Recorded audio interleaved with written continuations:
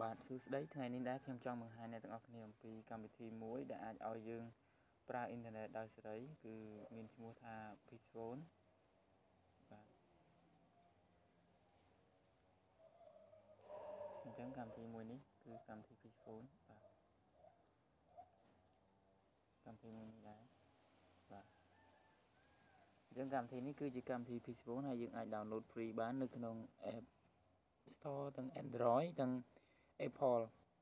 ហើយការប្រើប្រាស់ជាមួយ SIM គឺប្រើប្រាស់ជាមួយនឹង SIM smartphone ដែលភ្ជាប់គម្រោង Facebook Unlimited ឬក៏ YouTube Unlimited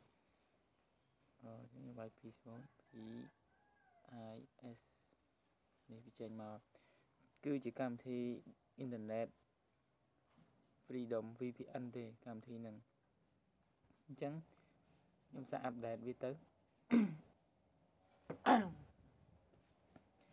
ចឹងកម្មវិធីនេះគឺឈ្មោះថា Pixphone Pro ពេលដែលយើង download គឺវាងាយស្រួលមែនតើក្នុងការ download app អីផ្សេងផ្សេងតាម Play Store ហ្នឹងចឹងយើងអាច download Pixphone សម្រាប់ Apple ឬក៏សម្រាប់ Android បាទត្រង់ចាំវាអីហើយទៅអញ្ចឹងជាធម្មតាបើសិនជាយើងចង់បើកអឺ Chrome តែឧទាហរណ៍ថាឥឡូវខ្ញុំ search ខ្ញុំ search ថា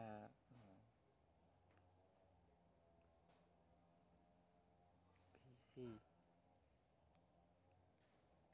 បាទពេលដែលខ្ញុំ search អញ្ចឹងមានន័យថាខ្ញុំ search ខ្ញុំអាចមើលរូបបាន នៅលើអឺគម្រោងដែលភ្ជាប់ជាមួយនឹង YouTube Unlimited ខ្ញុំអាចមើលរូបភាពបានក៏ប៉ុន្តែពេលដែលខ្ញុំចូល website គឺចូលអត់បានទេអញ្ចឹងករណីហ្នឹងគឺមានន័យថាក្រុមហ៊ុនរបស់ smartphone បាន block នៅអឺ worldwide របស់ website មួយចំនួនដែលឧទាហរណ៍ឥឡូវខ្ញុំចូលនៅលើនេះរបស់ Wikipedia អញ្ចឹងខ្ញុំអត់អាចចូលបានទេវានៅគាំងត្រឹងនៅនឹងបាទតែដល់ពេលដែលខ្ញុំមើលរូបភាពគឺអាចមើលបានទាំងអស់តែដោយសារថា website មួយចំនួន គឺយើងអត់មានលុយបើកទេយើងតែយើងភ្ជាប់គម្រោង YouTube Unlimited ហើយហើយអញ្ចឹង ជាប់គម្រោងនឹងហើយហើយយើងបើកអត់បានទេអញ្ចឹងចាំមើលថាតើបើកបានឬអត់បាទទី1យើង download Pixel ហើយមកបន្តមកទៀតយើងចុចយកប៊ូតុង start បាទនេះប៊ូតុង start speed វាគឺបានត្រឹមតែ2 megabit តែប៉ុណ្ណោះក្នុង1វិនាទី per second ហ្នឹងអញ្ចឹងរឿងយើងរងចាំអា Pixel ហ្នឹងដំណើរការ load ចេញពណ៌ខៀវមកគឺវាដំណើរការរួចស្រេចម៉ែអើយ បាទអញ្ចឹងពេលពេលដែលវាលោតមកអញ្ចឹងគឺវាដើរយើងរងចាំវាទៅវាដើរមកម៉ែទៅណាអូនអត់អីអញ្ចឹងយើងគ្រាន់តែរងចាំមួយផ្លែតហ្នឹងពេលហ្នឹងគឺ Pixphone វាបានដំណើរការរួចហើយពេលដែល Pixphone ដំណើរការរួចនេះក្រុមមិញដែលយើងបើកថាឥឡូវយើងបើកនៅលើ browser មិញហ្នឹងយើងដាក់ PC ហើយយើង search Google បាទពេលយើង search អញ្ចឹងវានឹងចូលទៅនេះអឺ PC Wikipedia នេះអញ្ចឹងយើងចង់មើលថាតើវានឹងបង្ហាញអ្វីនៅលើ Wikipedia ហ្នឹង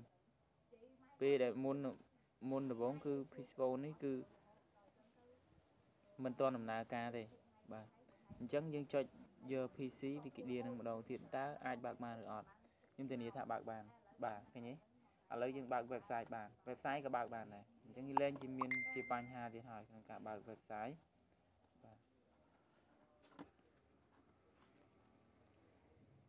អញ្ចឹងគឺយើងអាចបើក website ក៏បានយើងអាចបើក YouTube ក៏បាន Facebook ក៏បានមិនមានជាបញ្ហាទៀតទេបាទឥឡូវខ្ញុំសាកអឺ check នៅលុយរបស់ Stack Card ឧទាហរណ៍ណាតើអាច check បានអត់អញ្ចឹងខ្ញុំនឹងប្រើជាមួយនឹង Facebook នេះ Pixphone ពេលហ្នឹងគឺ IP របស់យើងត្រូវបានផ្ដោះបដូរនេះឃើញទេ check លុយ share card ក៏បាន check លុយអីក៏បានអញ្ចឹងយើងអាចប្រើអ៊ីនធឺណិតនឹងបានដោយសេរីបាទយើងអាច download App Store ក៏បាន PPCTV ក៏បានបាទ Facebook ឧទាហរណ៍ Facebook មើលបើកបាន Facebook អឃើញទេបើកបានអញ្ចឹងយើងគ្រាន់តែភ្ជាប់គម្រោង YouTube unlimited មួយយើងអាចបើក Facebook បានអូខេនេះ Facebook បានអឥឡូវយើងបើក Facebook បានហើយអញ្ចឹងយើងចង់ដឹងថា Facebook នេះដំណើរការអត់យើងគ្រាន់តែចុចលើវាមកនេះឃើញទេវាមានផ្ទាំងពាណិជ្ជកម្មមួយហើយផ្ទាំងពាណិជ្ជកម្មហ្នឹងយើងកុំបាច់ប្រើចុចលើវាក៏បានអត់ខ្វល់សំខាន់វាចេញសញ្ញាពណ៌ខៀវនេះសញ្ញាពណ៌ខៀវនេះគឺបញ្ជាក់ប្រាប់ថា Facebook របស់យើងនឹងបានដំណើរការរួចហើយអញ្ចឹងបន្ទាប់ពីនឹងមកយើងចុចប៊ូតុង Home វានៅតែដំណើរការនៅនឹងរហូតឧទាហរណ៍ឥឡូវខ្ញុំចង់ដឹងថា តើ IP របស់ខ្ញុំនឹងវា load IP ប៉ុន្មានបញ្ជាក់តាមពិត IP នេះគឺជា IP ក្នុងប្រទេសរបស់យើងទេបាទអញ្ចឹងនេះយើងចូលកន្លែង ping tool មកបោះ ping tool បាទ ping tool អញ្ចឹងវានឹងសូ IP ថាតើ IP របស់យើងនឹង IP មកអចាំមើលវា unknown ឃើញទេអញ្ចឹងវា search អ IP របស់យើងអានេះជា IP របស់ទូរស័ព្ទអានេះជា IP អ៊ីនធឺណិត អូឃើញអានេះគឺជា IP អ៊ីនធឺណិតដែរវាកំពុងប្រើហើយវាដឹងថាអ៊ីនធឺណិតរបស់យើង speed ប្រហែល megabit ទៀតហើយយើងប្រើទៅលើប្រព័ន្ធទូរស័ព្ទប្រតិបត្តិការ SIM អីគេនេះ Vitel ហ្នឹងបោះ smartphone បាទអញ្ចឹងវាដឹងទៀតនេះអានេះជាលេខកូដ SIM របស់យើងប្រើ Vitel បាទក្រុមហ៊ុនបោះ smartphone អញ្ចឹងអានេះ internet speed ឥឡូវឧទាហរណ៍ឥឡូវខ្ញុំចង់បើកអឺ app ម្ដង PPTV តើបើកបានអត់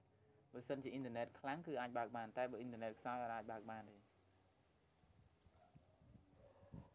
អញ្ចឹងវាមានភាពងាយស្រួលមែនតើគ្រាន់តែយើងភ្ជាប់តែកម្រងម្ដងតើ1ដុល្លារក៏បានឬក៏3ដុល្លារក៏បានក្នុងមួយខែជាងជាងអាចមើលវីដេអូបាន អូនលីក៏ពេញចិត្តនៅបទចម្រៀងនេះផងដែរបាទជាមួយនឹងបទចម្រៀងនេះក៏មានការពេញចិត្តពីសំណាក់គួរដែលគាត់ផ្ញើជូនទៅកាន់មិត្តភ័ក្តិដែលស្វានស្គាល់គាត់ជាវីដេអូនេះគឺអាចតម្ដងហើយក៏មានការពេញចិត្តពីសំណាក់ស្នាបាទដែលគាត់ពេញចិត្តជាមួយនឹងបទចម្រៀងនេះផ្ញើជូនទៅកាន់មិត្តភ័ក្តិបាទអញ្ចឹងគឺយើងអាចប្រើប្រាស់ជាមួយនឹងកម្មវិធីនេះបានអាចមើលទូទួលបានទៀតអញ្ចឹងយើងប្រើតែមួយមុខទេយើងចំណេញបានរហូតទៅដល់5 6មុខទៀតយើងអាចឆាតអីអី ប្រើប្រាស់កម្មវិធីដូចជាស្ដាប់ VOA ឥឡូវយើងចង់ស្ដាប់ VOA ស្ដាប់បានអត់សាកមើល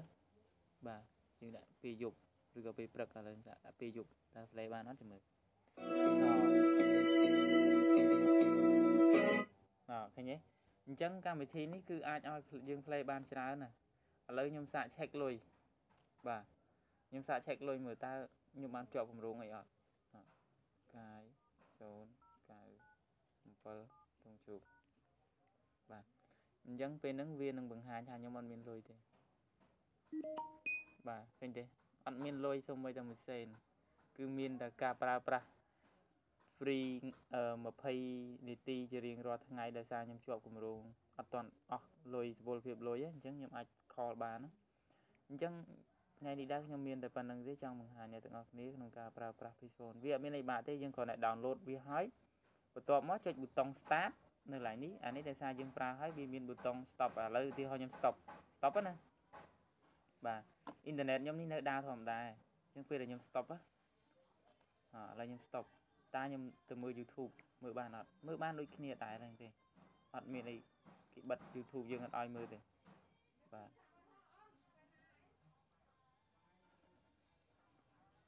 YouTube យើងដើរធម្មតាបាទ YouTube យើងដើរធម្មតាទេអត់មានជាបញ្ហាទេបាទ Hey guys can I have a second alone with the car I just uh បាទឥឡូវ YouTube ដើរធម្មតាឥឡូវខ្ញុំសាកចូល website ម្ដងចូល website